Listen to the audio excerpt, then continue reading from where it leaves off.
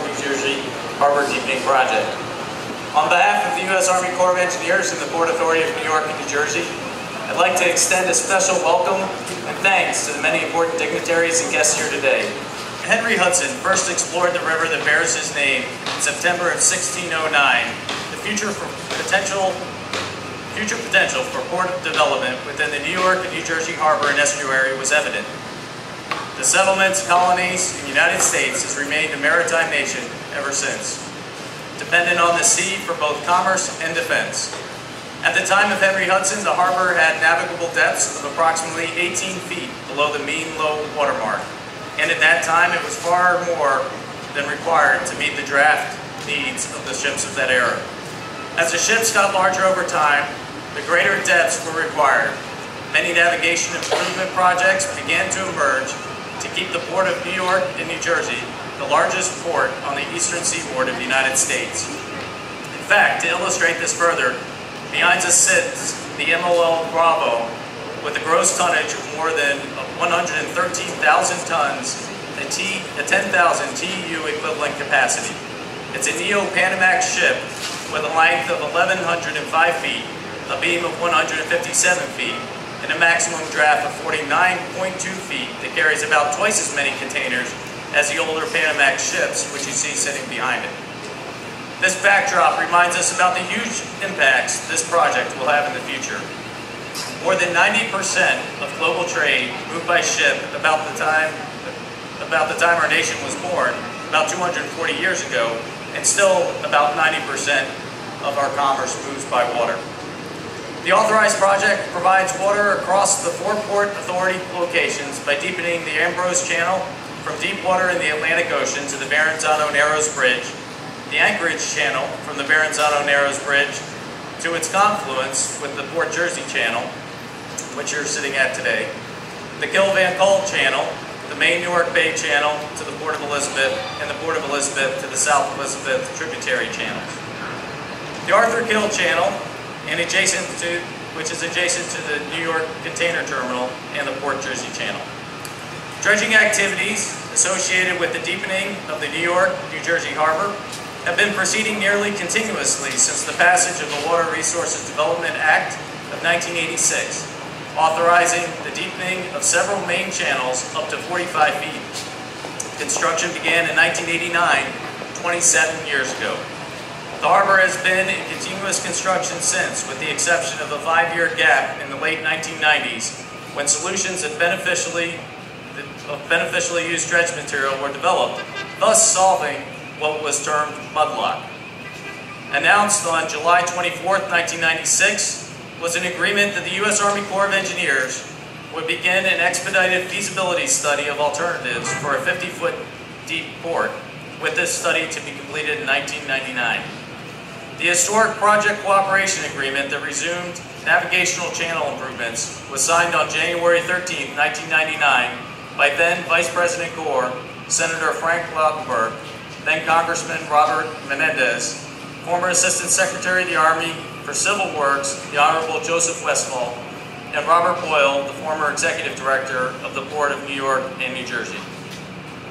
Concurrent with the authorization process, the Corps advanced the design of a 50-foot project between 2000 and 2004, and in response to congressional direction, attached to the fiscal year 2002 Appropriation Act, the Corps evaluated and recommended consolidated implementation of the four authorized deepening projects previously authorized that were in construction at the time in January 2004.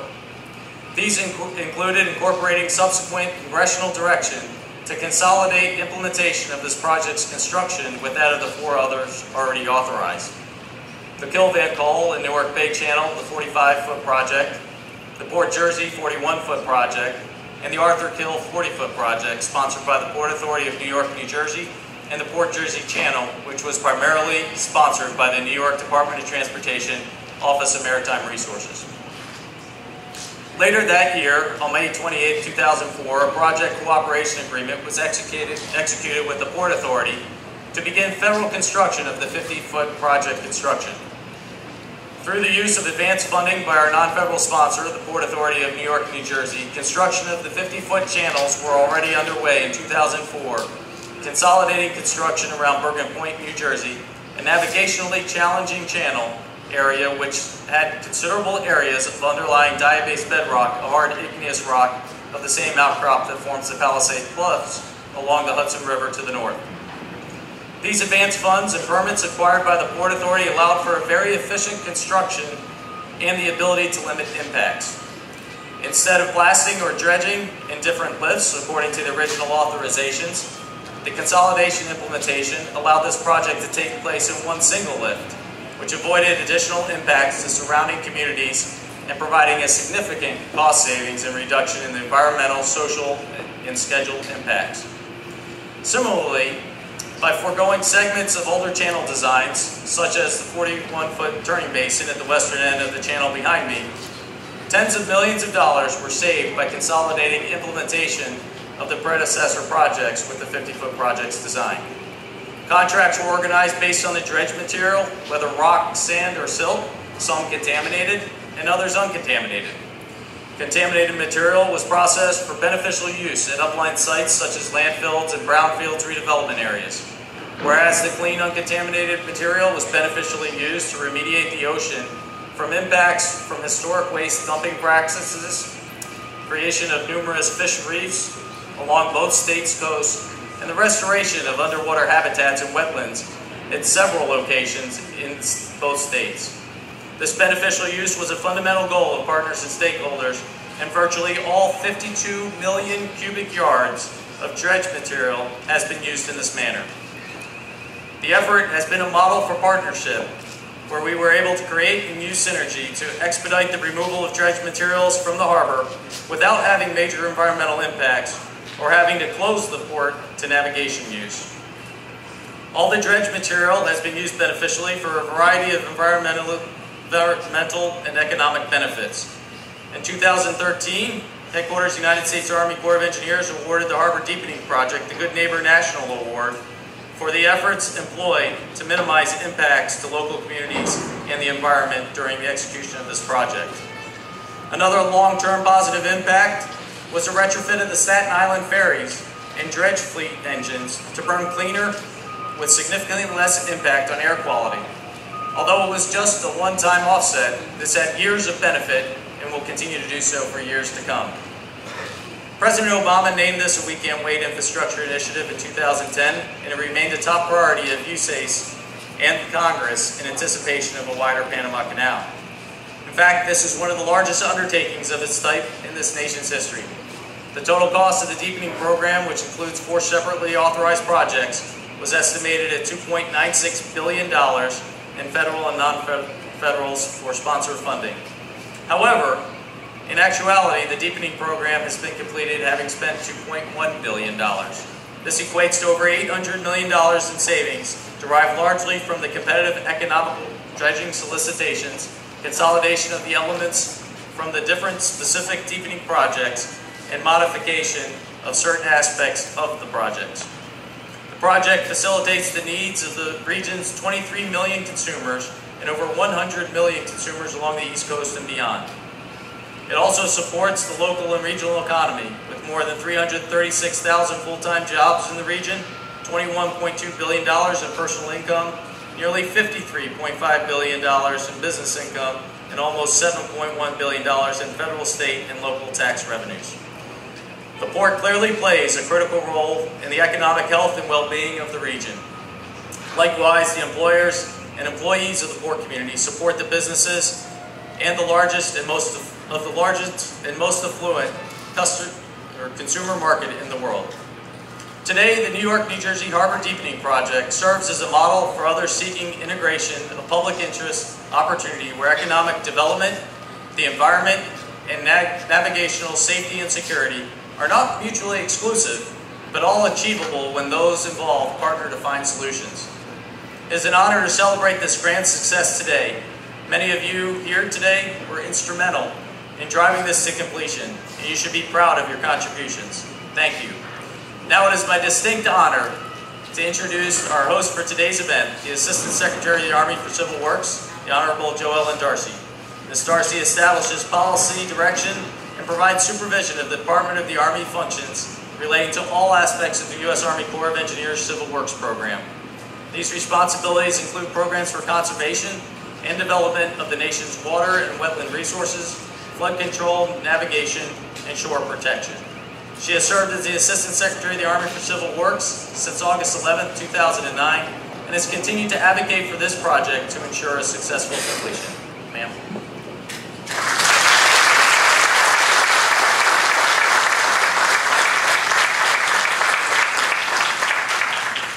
Thank you, Colonel Caldwell, and uh, welcome everyone.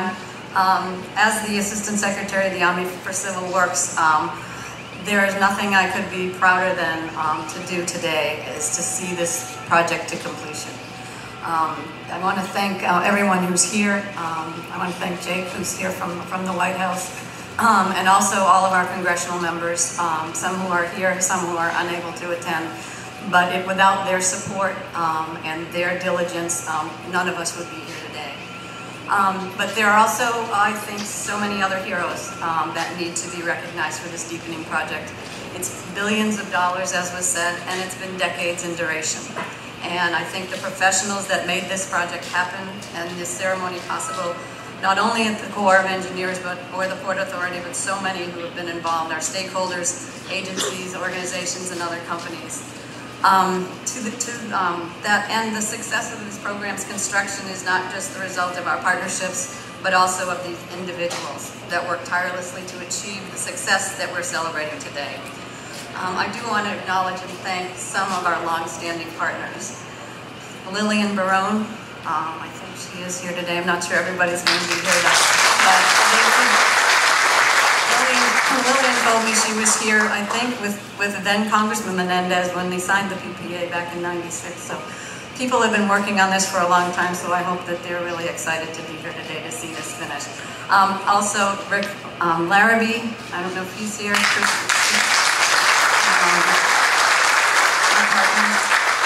um, Chris Ward, is Chris here? Um, Chris Ward, um, and, and all, they're all formally with the Port Authority and, and their leadership, you know, from those years ago helped to uh, lay the basis for this success here today.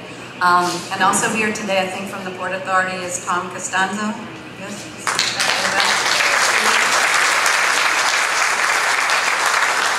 Is Steve Dorier here? Thank you. Um, Ahmed, on this project day in and day out. So um, and for years, and they've done that to advance this project. Um, and of course, you're going to hear later from um, Molly Campbell, who's the current director of the Port of Commerce Department here, and Andy Saporito, who's your deputy. I think he's here too. Um, they've all been outstanding partners. Um, there are also some people here from, from New Jersey. There's Frank McDonough. Is Frank here? He's over there. Suzanne. Suzanne Dietrich here. Suzanne's in the back. Um, Scott Douglas, these are all uh, our friends from New Jersey who've been key players who've helped with identifying the beneficial uses for dredge materials that, that uh, Colonel Caldwell talked about earlier. And as he said, it was referred to back then as mudlock. You know, it's like gridlock, only it was mudlock. Um, but because of your efforts um, and your diligence, um, you unlocked it and you, you came up with solutions um, with, in cooperation with our solutioneers, who is your Army Corps of Engineers. So thank you all for that. Um, also is Steve Zahn here and Andrew Genn, who are respectively from the state of New York and the city of New York. So the way um, they helped a lot with, with working through the regulations that needed to be, um, be met, as well as the beneficial uses of dredge material, as well as economic development within this great, it's a bi-state port and that's not always an easy thing to do, but thank you for, for your help and work on that. And lastly, here within the Corps family, I want to personally thank Bill Slezak um, and Bryce Blackmiller for their. Um, they worked on this program for a very long time. One's project manager, one is the um, program manager. Um, and I also want to recognize Tom Shea and Steve Weinberg. Is Jamal here? Jamal Suleiman? well as Pete Kepler and Kate, is Kate here? Kate Alcoba? Yes, she's in the back there. And Joe Olbaum, Ellen Simon, Sam Ditato, I always get her name wrong, I apologize. Um, and Mark um, Kucera, among so many others on our team, but um, they, again, have worked on this project tirelessly for a very long time, and without their efforts and their commitment, I don't think we'd be here today. So let's hear it for all of those people.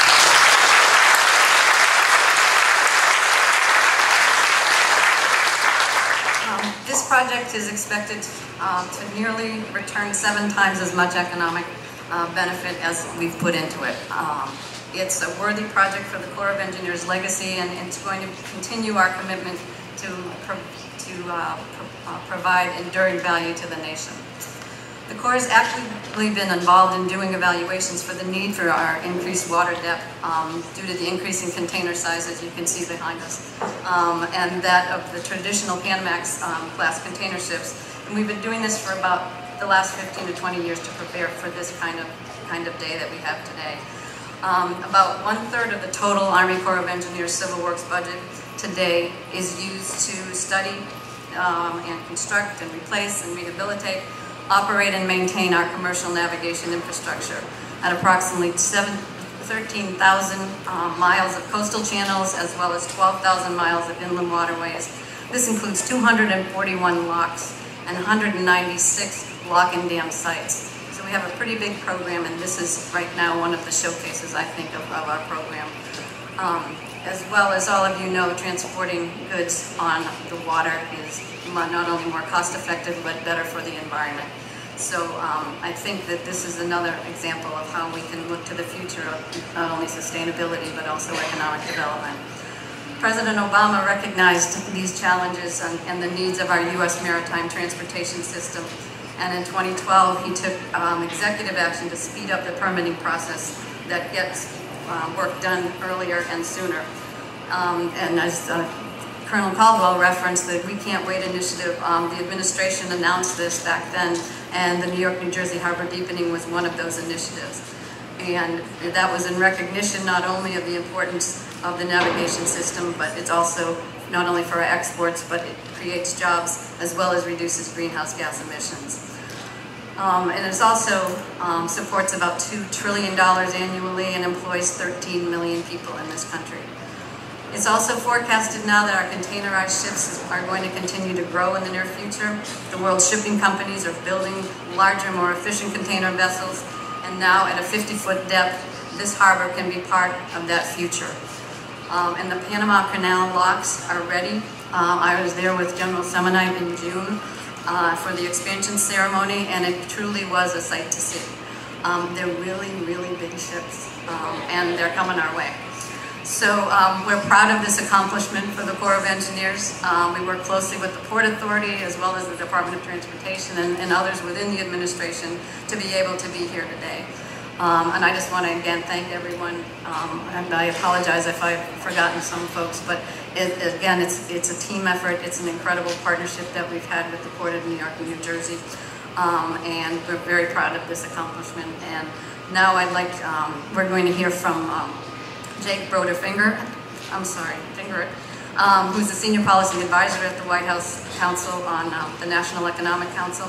Um, he's been helping lead the President's initiative on Build America initiatives, um, and he's here not only to support us, but also to let us know about some of those initiatives and how we're going to be having water as one of our top infrastructure priorities. And I think this shows that it is a priority as well as a way that we can make progress, not only for the economy, but for the future of the country. So thanks, everybody.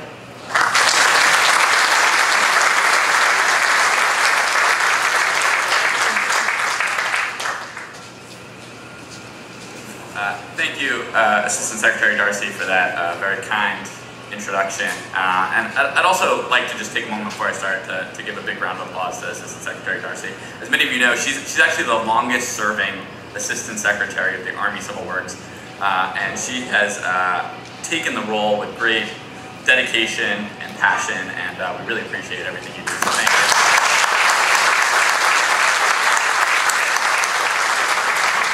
Uh, it's, uh, it's an honor uh, to be here today and uh, celebrate this important event, uh, not only for the great states of New York and New Jersey, and also for the, the port, but this is also uh, an incredibly important day for the, the country and our economy more broadly. And, and I want to spend just a couple minutes talking about our economy. As I'm sure many of you know, when the president took office in 2008, the, the economy was not in a good place. We were losing 800,000 jobs a month, 800,000 jobs a month. And since 2008, we've seen the longest streak of consistent job growth this country has ever seen. Uh, we've gained 15 million jobs, and we've taken unemployment from about 10% to 4.9%. And as you unpack some of those numbers, one of the, the drivers, one of the reasons why our economy has, uh, has come back has been exports. Uh, since 2010, we've seen a 47% increase in exports. Roughly 12 million jobs are supported in this country by exports. And it, you know, it's just it's it's evidence as you look at the export numbers that the rest of the world wants what we make here in America. And this this project today, the bigger, uh, the, the deep import, the bigger ships will allow us to do do more exporting and allow our country to continue to grow. And, it is it is also worth noting that you know this is this project is a great reminder of why we need to continue to push to pass TPP, which, as many of you know, is a trade agreement with the Pacific, which will allow us to more easily get our products in the hands of people overseas who want to buy American. Um, so uh, today's celebration is, is certainly uh, a great reminder of what we can do uh, when we come together. Uh, and as uh, Assistant Secretary Darcy mentioned, there are a lot of stakeholders here who really came together in a phenomenal way, took the president's call to action and got this project done. Uh, and it's great to see it actually get over the finish line. Um, as the president has said, ports like this one help keep the economy going. They move products, they move people, and they make sure that businesses are working the way they should. Um, so while today is certainly a day to be proud of, uh, I, think it's also a good reminder uh, that we need to invest in ports, in water, in our country's infrastructure, and do the hard work to keep the arteries of our economy flowing. Thank you.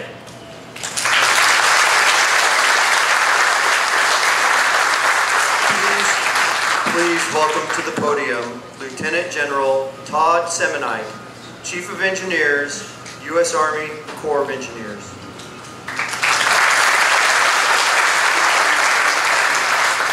Well, good morning. On behalf of Secretary of the Army Fanning and Chief of Staff of the Army Milley, I want to thank you for taking the time out of your busy schedules to be with us uh, today and providing so much support for this important project. The United States Army Corps of Engineers would not have been able to build this magnificent infrastructure without the support of many of our stakeholders. And I'm pleased to see many of our distinguished stakeholders here today. Ms. Darcy, without a doubt, thanks for you've been uh, behind this all the way, as well as so many other great things in uh, civil works infrastructure, and uh, your uh, your personal leadership made this happen.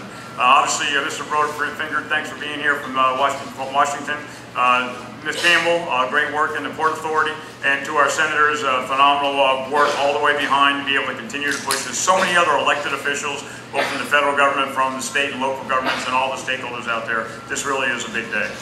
I want to commend every individual who labored tirelessly on the New York and New Jersey 50-foot harbor deepening throughout any part of this project's life cycle. No one accomplishes anything alone, and projects of this magnitude, like the one we're celebrating today, are made possible with robust collaboration among diverse stakeholders. They're also made possible with reliable funding, which enabled the Corps of Engineers to aggressively and efficiently do the job that needed to be done. The New York and New Jersey 50-foot harbor deepening will benefit the safety, the prosperity, and the sustainability of this region. Supersized ships from Asia will now have direct all-water shipping access to ports on the Gulf of Mexico and the East Coast, giving companies cheaper options for shipping and time and cost savings to consumers. Bigger ships and more cargo can result in an economic boom for a port and research demonstrates that shipping over water is the most environmentally sound and efficient method of transportation when compared to air, rail, and truck. And for context, respected to the East Coast alone, Uh, the Corps studies have identified investments that deepen coastal harbors and ports totaling several billions of dollars. That's a big investment for this country. But what's important, and Ms. Darcy alluded to it, is that the economic evaluations indicate this investment would return over 1.5 billion annually to be able to continue to be able to support every single year, and that's extraordinary, a great investment for our country. This project is a vital piece of an ever more efficient and effective system that's linking goods to the people to the goods and services they need and want. The infrastructure the United States Army Corps of Engineers provides is enabling that system. Completion of the New York and New Jersey Harbor project adds a fourth East Coast port with a depth of 50 feet capable of handling the large Neo-Panamax container ships and other large vessels coming through the recently opening new Panama Canal. Our Corps of Engineers and our stakeholders have recently completed projects in Baltimore, Norfolk, and Miami, and are either doing construction or final design on over 12 other major ports around the country to attain 50-foot depth. I think the big thing here, not only is this a phenomenal accomplishment with dredging all of this material, but you would need to understand that to be able to do this in an environmentally sound way is, is unprecedented. 52 million cubic yards you're taking out of the ground, and to be able to find a, put, a place to put that, and as Dave Caldwell said, some of that could be contaminated. How do you, in fact, turn that material around to be able to do all the things that Dave talked about? Rebuild marshes, be able to take care of our some of our ocean areas. Uh, unbelievable uh, accomplishment. And what it really, really shows is you can achieve a large harbor deepening project for the good of the economy while at the same time balancing the environment and even continuing to foster habitat and ecosystem restoration. So I look at this as a world-class accomplishment. There will people that come from other parts of the world to be able to see what happened here, what you all did together, and as a team, how you pulled to be able to make it happen. In closing, I just wanted to let you know I'm on my 100th day as the new Chief of Engineers. I'm going to be with you for four years. I pledge my personal support to stand by the citizens of this region to help solve our nation's most critical challenges. Whether it's supporting New York and New Jersey soldiers in Iraq and Afghanistan, building military installations throughout these states, re, um, continuing to be able to construct and to renovate uh, VA hospitals for our veterans, performing environmental cleanup for the region, performing disaster relief efforts like we did in Superstorm Sandy, or supporting navigation projects like this one here on the ground, your Army Corps of Engineers will continue to be Army strong and building strong. Thanks so much for your support.